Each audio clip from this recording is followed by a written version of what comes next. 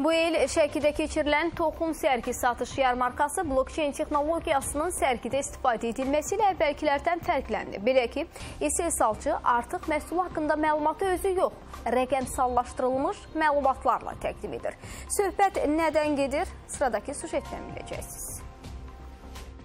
Şəkidə keçirilən bu il üçün sayca ikinci olan toxum sərgi satış yarmarkasına 20-dən artıq toxum istehsalçısı və 100-ə yaxın fermer qatılıb. Sərgi satış yarmarkasında əksəriyyəti yerli istehsal olan 30-dan artıq toxum sortu nümayiş etdirilib. Zaqatalar oyunu təmsil edirik.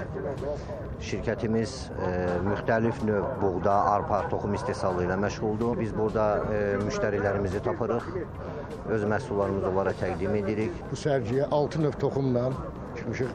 Hər biri yoxlama keyfiyyətli və birli yerli məhsuldarlıqda məhsuldarlığı yüksək olan bir toxum növləri ilə bu günləri təmsil edirik. 3 növdə toxum gətirmişəm sərgiyə. Bir neçə müştərilərimiz çıxdı, alıcılarımız yəni müraciət elədilər. Cari ildən toxumçuluqda vacib bir yenilik də blokçeyn texnologiyası əsasında hazırlanmış birkalanma sistemidir. Hansı ki, hər bir kisənin üzərində olan müvafiq birkaları ə, toxumçularımız, fermerlərimiz ə, oxudaraq hansı məhsuldur, hansı keyfiyyətləri var və s. bu kimi tam məlumatları əldə etmiş olurlar. Növbəti yarmarka sentyabrın 6-sında Ağcabədidə keçiriləcək.